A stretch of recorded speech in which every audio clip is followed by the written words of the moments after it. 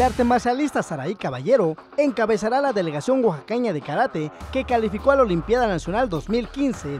Cerca de 16 karatecas alcanzaron a obtener su pase para participar en la máxima fiesta de los deportistas que se realizará en Monterrey, Nuevo León.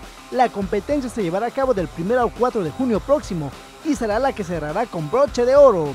El representativo oaxaqueño de karate lo conforman los artes marcialistas Arturo García, Enrique García, Víctor Peláez, David Valencia, Sergio Sánchez, Jesús Viani, Alejandro Colmenares, Omar Esteba, así como Fanny Ortega, Saraí Caballero, Galilea Reina, Isael Salud, Cintia Hernández y Edwin Cortés.